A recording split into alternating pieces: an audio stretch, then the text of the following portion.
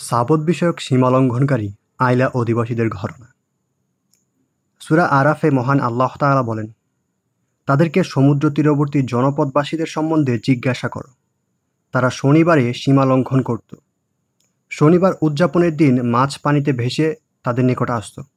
কিন্তু যেদিন তারা শনিবার উদযাপন করতো না সেই দিন মাছগুলো তাদের নিকট আসতো না। এভাবে তাদেরকে পরীক্ষা করা হয়েছিল।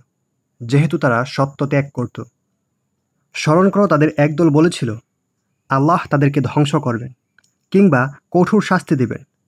তোমরা তাদেরকে সদুপদেশ দাও না কেন? তারা বলেছিল, তোমাদের প্রতিপালকের নিকট দায়িত্ব মুক্তির জন্যে এবং যাতে তারা সাবধান হয় এই জন্যে। সেই উপদেশ তাদেরকে দেয়া হয়েছিল। যে উপদেশ তাদেরকে দেওয়া হয়েছিল, তারা যখন সেটি বিস্তৃত হলো, তখন যারা অসৎ কার্য থেকে নিবৃত করত, তাদেরকে আমি উদ্ধার করি এবং যারা জুলুম করে তারা কুফরি করতে বলে আমি তাদেরকে কঠোর শাস্তি দেই। তারা যখন নিষিদ্ধ কার্য অধ্যত সহকারে করতে লাগল, তখন তাদেরকে বললাম, ঘৃণিত বানর হও। সোরা বাকারাতে আল্লাহ তালা বলেন, তোমাদের মধ্যে যারা শনিবার সম্পর্কে সীমালঙ্ঘন করেছিল, তাদেরকে তোমরা নিশ্চিতভাবে জানো। আমি তাদেরকে বলেছিলাম, তোমরা ঘৃণিত বানর হও। আমি এটি তাদেরকে সমসাময়িক ও পরবর্তীগণের শিক্ষা গ্রহণের জন্যে ও মোত্তাকিদের জন্যে উপদেশস্বরূপ করেছি। সোরা বাকারা, আয়াত পঁয়ষট্টি। অন্যত্র আল্লাহ তালা বলেন, অথবা সাবতওয়ালাদেরকে সেরূপ লানত করেছিলাম, যেরূপ তাদেরকে লানত করার পূর্বে আল্লাহর আদেশ কার্যকরী হয়েই থাকে। ইবনে আব্বাস, মুজাহিদ একরিমা কাতাদা, সদ্দি রহিমহমুল্লাগণ ও অন্যান্য মুফাসির বলেছেন, এরা ছিল আইলা বা ইলার অধিবাসী। ইবনে আব্বাস রাদি আল্লাহ আনহুমো বলেছেন যে, স্থানটি মাদায়ান বা তুরের মধ্যস্থলে অবস্থিত। তাফসির কারকগণ বলেন, সেই যুগে তাওরাতের শিক্ষা অনুযায়ী তারা শনিবারে পার্থিব্য কাজকর্ম হারাম জ্ঞাত করত।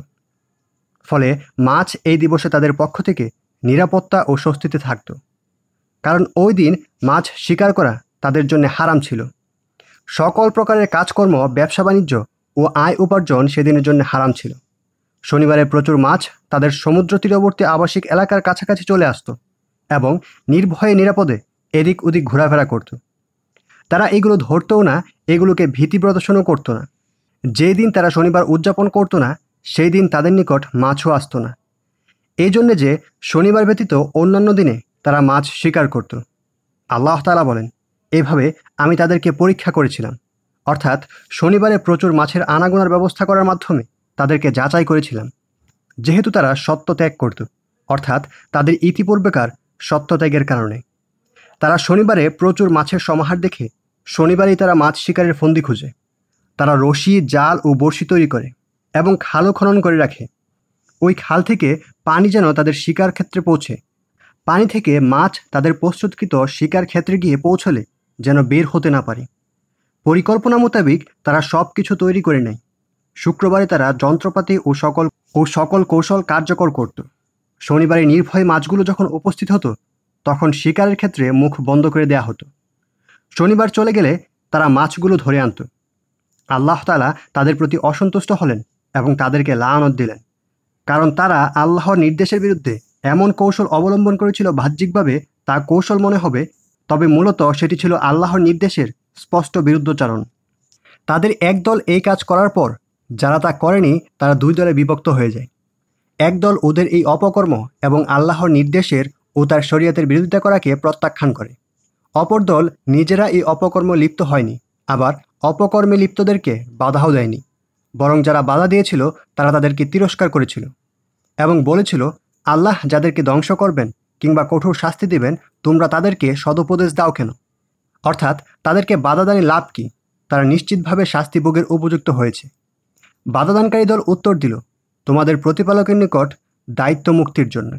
অর্থাৎ, আমাদেরকে সৎ কাজের আদেশ ও অসৎ কাজের বাধাদানের যে দায়িত্ব দেওয়া হয়েছে আল্লাহর শাস্তির ভয়ে আমরা সেই দায়িত্বই পালন করছি এবং যাতে তারা সাবধান হয়, অর্থাৎ এমনও হতে পারে যে তারা তাদের অপকর্ম থেকে বিরত হবে।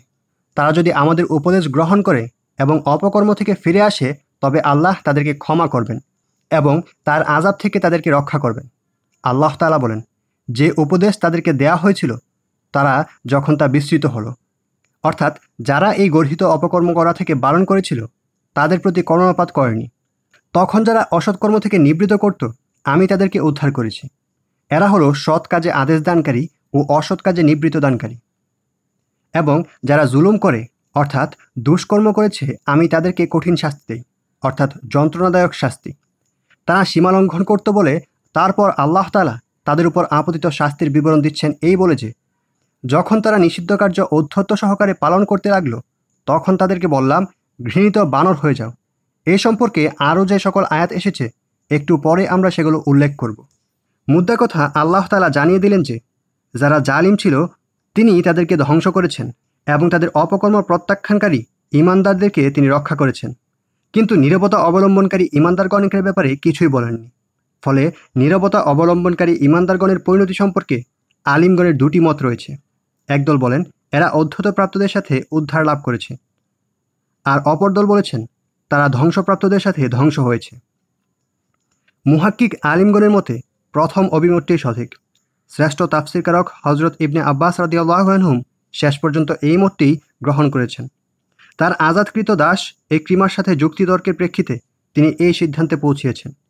এই জন্যে ইক্রিমা রাদিয়াল্লাহনহুকে তিনি একজোড়া উচ্চ মূল্যের পোশাক দানে সম্মানিত করেন।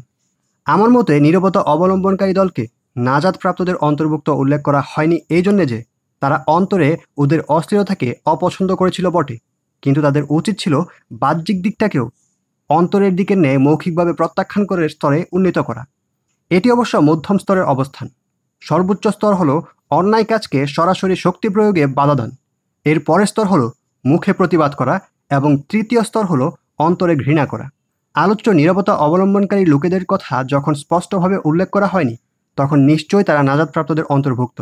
কারণ তারা অশ্লীল কাজে অংশগ্রহণ করেনি এবং অশ্লীলতাকে ঘৃণা করেছিল। আব্দুর রাজ্জাক, আতা খোরাসানি রহিমুল্লার সূত্রে বর্ণনা করেন যে, যারা উল্লেখিত অপকর্ম ও পাপাচারে লিপ্ত হয়েছিল, শহরের অন্য অধিবাসীরা তাদেরকে সমাজচ্যুত করেছিল এবং কেউ কেউই তাদেরকে ওই অপকর্মে বাধাদানও দিয়েছিল, কিন্তু তারা ওই উপদেশ গ্রহণ করেনি। বাধাদানকারীরা একটি পৃথক স্থানে রাত্রি যাপন করত এবং অপরাধী ও নির্দোষদের মাঝে অন্তরায় স্বরূপ স্থাপিত দরজাগুলো রাতে বন্ধ করে রাখা হতো। কারণ তারা অপকর্মকারীদের ধ্বংসের অপেক্ষায় ছিল। একদিন ভোরবেলা দেখা গেল, ওদের দিকেকার দরজা বন্ধ। ওরা দরজা খুলেনি। অনেক বেলা হয়ে গেল। শহরের অধিবাসীগণ একজন লোককে ওদের সিঁড়িতে উঠে উপর থেকে তাদের অবস্থান জেনে নিতে নির্দেশ দিল। উপরে উঠে সে দেখতে পেল যে এরা সবাই ল্যাজ বিশিষ্ট বানরে পরিণত হয়েছে, যারা লাফালাফি ও দৌড়দৌড়ি করছিল। শেষে ওদের দরজা খোলা হয়। বানরেরা তাদের আত্মীয় স্বজন ও ঘনিষ্ঠ লোকেদেরকে চিনতে পেরেছিল। কিন্তু আত্মীয় স্বজনেরা ওদেরকে চিনতে পারেনি। ওরা অসহায়ভাবে আত্মীয় স্বজনদের নিকট আশ্রয় চাচ্ছিল ও কাকতি মিনিত করছিল। অপকর্মে বাধাদানকারী লোকেরা বৎসনার স্বরে বলেছিল, আমরা কি তোমাদেরকে অপকর্মে নিষেধ করিনি? মাথা নেড়ে বানরেরা সায় দিচ্ছিল যে হ্যাঁ নিষেধ করেছিল। এতটুকু বলে হজরত আবদুল্লাহ ইবনে আব্বাস রদিয়াল্লাহনহুম কেঁদে ফেললেন। তিনি বললেন, আমরা তো এখন বহু অন্যায় ও গর্হিত কাজ দেখছি, কিন্তু তা প্রতিরোধ করছি না এবং ওই বিষয়ে কোনো কথাও বলছি না। আফি রহিমহল্লা হজরত ইবনে আব্বাস রাদিয়াল্লাহনহের উদ্ধৃতি দিয়ে বলেছেন ওই জনপদের যুবকেরা বানরে পরিণত হয়েছিল আর বিদ্যরা পরিণত হয়েছিল শুকরে। ইবনে আবি হাতিম রাহিমহুল্লাহ ইবনে আব্বাস রাদিউল্লাহনহের সূত্রে বর্ণনা করেন যে, তিনি বলেছেন, তারা অল্প সময় জীবিত থেকেই মরে গিয়েছিল। ওদের আর কোনো বংশধর হয়নি। জাহাক রাহিমুল্লাহ হজরত ইবনে আব্বাস রাদিউল্লাহনহের সূত্রে বর্ণনা করেন যে বানরের রূপান্তরিত মানুষগুলো তিন দিনের বেশি জীবিত থাকেনি। ওদের খাদ্য ও পানীয় গ্রহণের কোনো সুযোগ হয়নি। ওদের কোনো বংশধরও হয়নি। সুরা বাকারা ও সুরা আরাফের তাফসিরে আমরা এ সম্পর্কিত বর্ণাগুলো বিস্তারিত আলোচনা করেছি। ইবনে আবি হাতিম ও ইবনে জারির তাবারি রহিমহল্লা মুজাহিদ রহিমহল্লার সূত্রে বর্ণনা করেন, তিনি বলেছেন, মূলত ওই লোকগুলো অন্তকরণসমূহ বিকৃত করে দেওয়া হয়েছিল।